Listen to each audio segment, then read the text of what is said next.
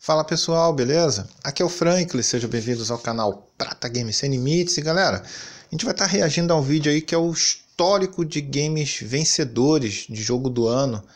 E como ele vai até 2019, que não é novidade para ninguém, foi o Sekiro.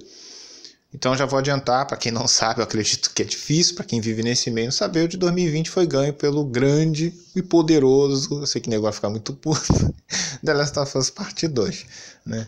Então, eu não sei se nesse vídeo também eu faço uma resposta rápida para aliados. Ele fez um vídeo lá, até achei bem interessante. Ele se questionou por que, que o Forza Horizon nunca, nunca ganhou um GOT. Né? Se bem que eu não lembro se os Forza Horizon mais antigos, não digo nem esses do Xbox One, mas os mais antigos lá do 360 chegou a concorrer a jogo do ano, não faço a menor ideia.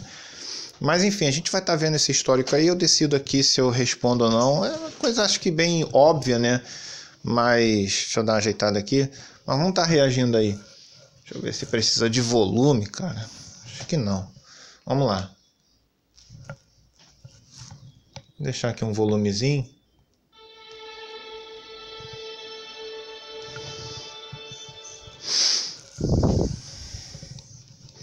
A evolução de 2000 a 2019. Nossa senhora, The Sims, mano.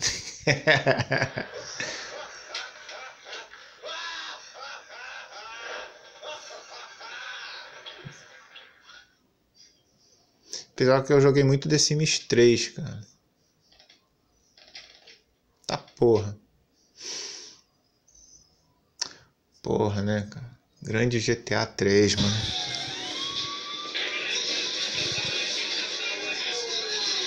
Olha o gráfico da época.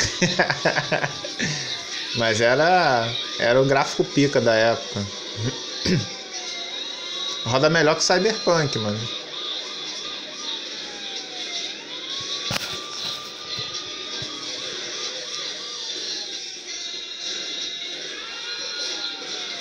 A Rockstar ganhou muitos títulos de game do ano, mano. Porra. Porra, Metroid, mano. Caralho, Metroid. Aí a gente queria ver esse Metroid aí. E não aquele Metroid lá em 2D que ela mostrou a Nintendo, velho. Metroid assim em 3D, velho. Cara, esse vai ser o único jogo de esporte que vai aparecer na lista, mano. Futebol americano, mano. Pô, mas futebol americano era bom pra caralho, mano. Aí tinha uns gráficos muito bons pra época, mano. Ó.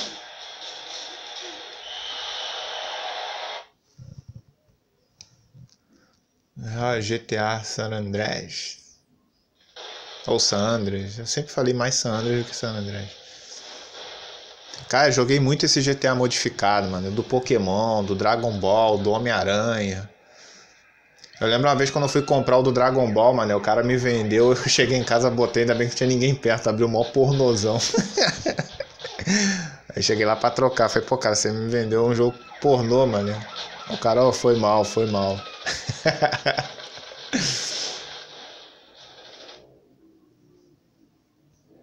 Porra, isso aí eu joguei muito.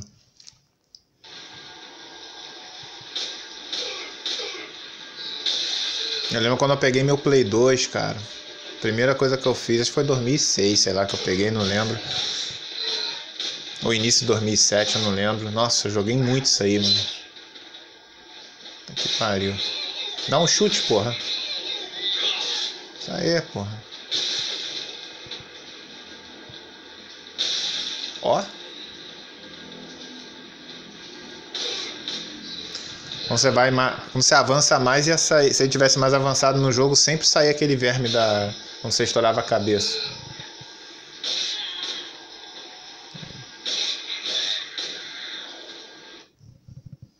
Grande Resident 4. Aí, ó. The Elder Scrolls. É esse? Não deu pra ler direito. Sim, The Elder Scrolls 4. Oblivion. É um jogo que eu nunca joguei, velho, mas dizem que é muito bom. Porra. Bioshock. Eu tinha esquecido que o Bioshock tinha ganhado um prêmio, cara.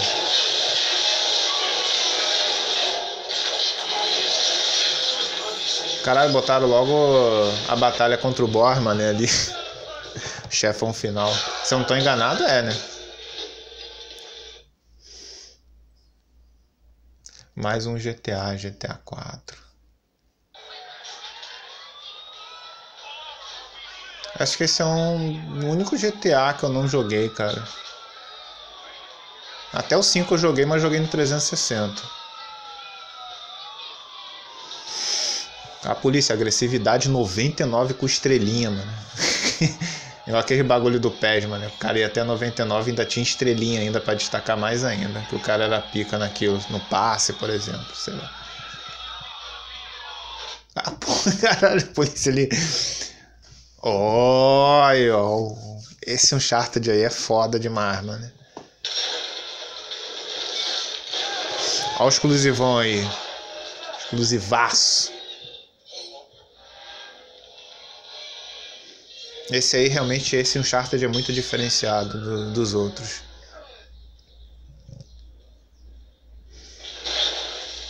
Eu não entendo por que, que a Naughty Dog é. Tipo, não que o 3 seja ruim, ou o 4 seja ruim, mas por que, que ela não manteve a mesma pegada, né, cara?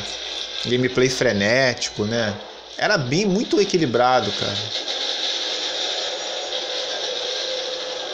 Tinha seus momentos sim de calmaria, como esse momento aí, por exemplo, que é mais cinematográfico, né, e tal, você não tem uma ação, né, tiroteio, mas era bem equilibrado. Os outros não, não é que não são equilibrados, mas esse tinha mais, cara. Red Dead. Deu uma dor no coração quando o God 3 não ganhou, cara. Mas perdeu para um para um jogo diferenciado, né? Mais um jogo da Rockstar.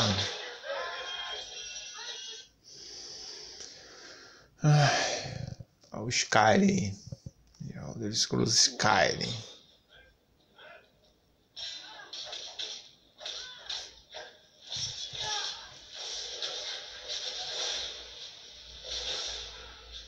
É um jogo que eu sempre tive vontade de jogar, mas as pessoas falavam muito que é muito bugado, não sei mais o que. Cara, esse eu não concordo. Eu gosto muito do jogo, essa história do, do, do The Walking Dead foda. Eu chorei, mané, com o final desse jogo aí. Mas. Mano, não tinha nada que me. Tem nada que me faça acreditar que esse jogo merecia ganhar um GOT, cara. Ó, queda de FPS num jogo que nem tem ação, mano. Mais a Rockstar de novo, GTA V. Aqui também eu fiquei com a dó no coração, cara. O The Last of Us merecia muito, cara.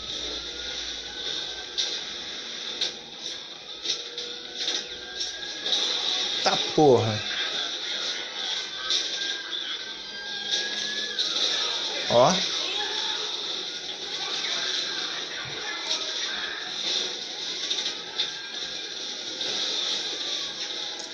Ó.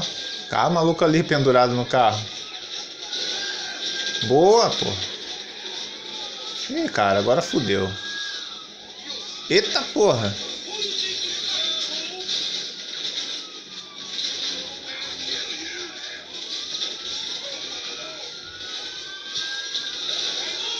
O maluco foi fuzilado ali e resistiu, mano. Caralho. Passou por cima, velho.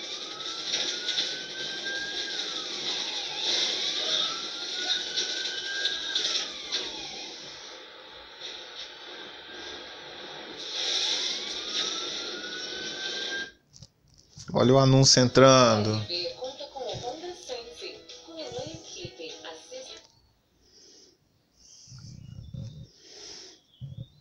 Dragon Age Inquisition. É um jogo também que eu nunca joguei até hoje. Eu tenho muita vontade de jogar. Ele sempre fica em umas promoções boas. Eu tenho que tomar vergonha na cara e pegar ele quando ele fica aí a menos de 20 reais. Dizem que o jogo é muito bom. Esse é bom pra caralho. Esse aí. Eu fiquei apaixonado, mano. Eu, eu queria que eles lançassem uma uma versão remaster do, do primeiro e do, e do segundo, que é exclusivo do 360, né? Acho que tem para PC também, mas nos consoles só tem para o 360. E o 1 só tem para PC, se eu não estou enganado.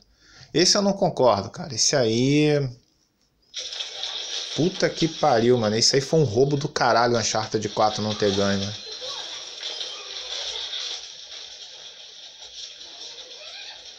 Ah, mas ganhou porque era popular, cara. Você não entende. Popularidade. Pelo amor de Deus, pô. Isso aí não tinha nem como, não tinha nem como, cara.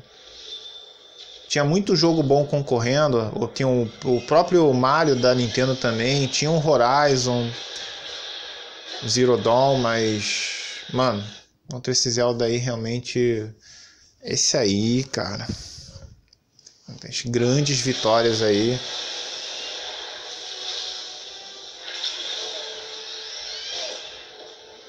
Esse God aí. Diferenciado demais. Diferenciado demais.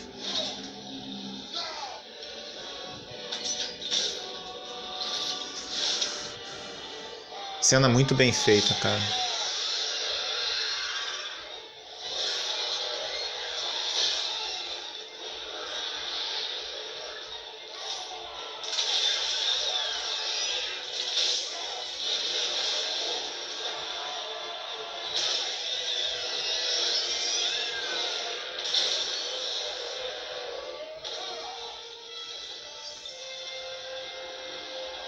Mano, olha essa cena.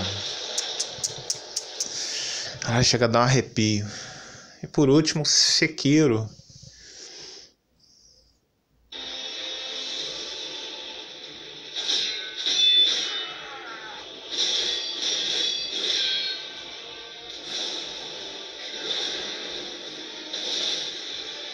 É um jogo que é difícil ficar barato, velho. Porra.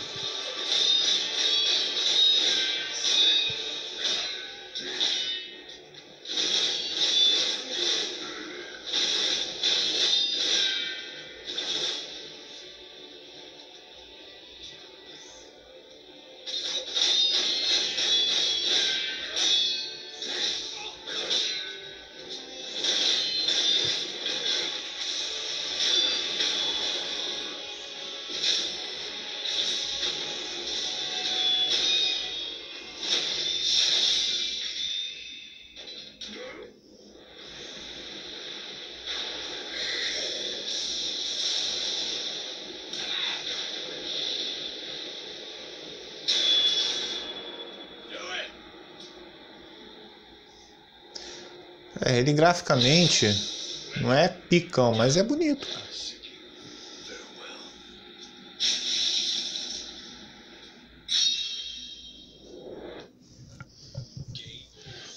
Hum.